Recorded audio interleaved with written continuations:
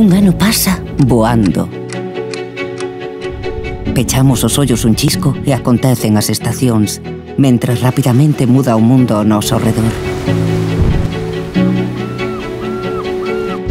Non podemos parar o reloxo, pero sí decidir que facer con ese tempo. E dar un paso adiante. Camiñamos cara ao futuro un paso tras doutro, pequenos pero firmes na dirección dos nosos ideais. Ollamos atrás para aprender do pasado, valorar o que temos e transcender un legado.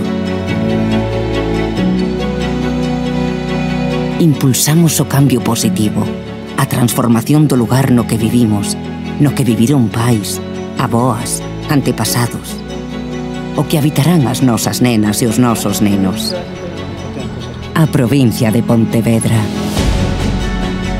Impulsamos comunidades prósperas nun territorio cohesionado, sen deixar a ninguén atrás, pensando primeiro en quen máis o precisa.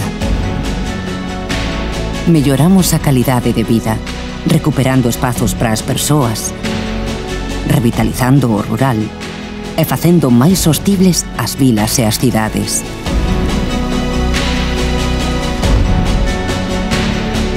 Investimos en futuro para encarar os retos que están por vir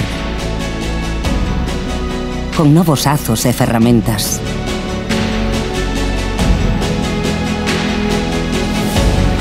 Facemos a equipo a través do deporte, da igualdade, da mocidade, porque así somos máis fortes. Defendemos a cultura para todas e todos. A nosa lingua nosa identidade, os nosos valores.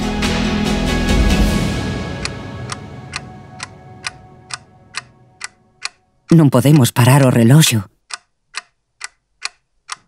Queda moito por facer.